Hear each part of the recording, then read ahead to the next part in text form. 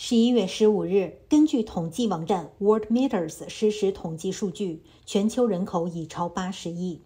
根据此前联合国人口基金会的统计，全球人口在二零一一年十月三十一日达到了七十亿。世界人口从七十亿增长到今天的八十亿，用了十一年零半个月。根据联合国最新预测，到本世纪八十年代，全球人口将达到大约一百零四亿的峰值，并保持这个水平到二一零零年。不过，不同的研究机构给出的数据也存在差异。比如，美国华盛顿大学健康指标与评估研究所二零二零年的一项研究显示，全球人口将在二零六四年达到峰值，但不会达到一百亿，且在二一零零年将减少至八十八亿。二零二二年，人口最多的两个区域都分布在亚洲，其中东亚和东南亚有二十三亿人口，约占全球人口百分之二十九；中亚和南亚有二十一亿人口，约占全球人口百分之二十六。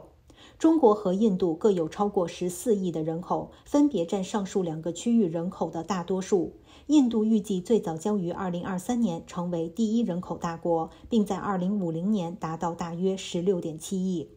联合国预计，到2050年，全球新增人口中超过一半将集中在刚果、埃及、埃塞俄比亚、印度、尼日利亚、巴基斯坦、菲律宾和坦桑尼亚八个国家。世界人口在1962到1965年期间的增长率为每年2.1%，此后增速急剧下降，2020年不到1%。到2050年，全球人口年增长率可能会下降到0.5%左右。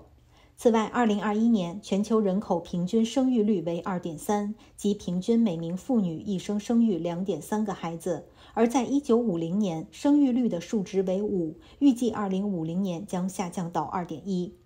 2019年全球平均预期寿命为72.8岁，比1990年时增加了9岁；到2050年，预计平均预期寿命将达到77.2岁。不过，持续增加的预期寿命与下降的生育率叠加，将加剧人口老龄化。六十五岁以上人口占总人口比例，二零二二年为百分之十，到二零五零年将升至百分之十六。